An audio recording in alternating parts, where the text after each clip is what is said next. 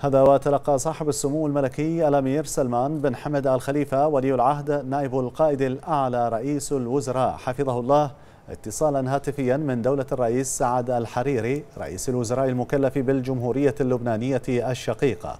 وأعرب دولة رئيس الوزراء اللبناني في الاتصال الهاتفي عن صادق تعازيه وخالص مواساته لصاحب السمو الملكي ولي العهد نائب القائد الأعلى رئيس الوزراء في وفاة صاحب السمو الملكي الأمير خليفة بن سلمان آل خليفة رحمه الله.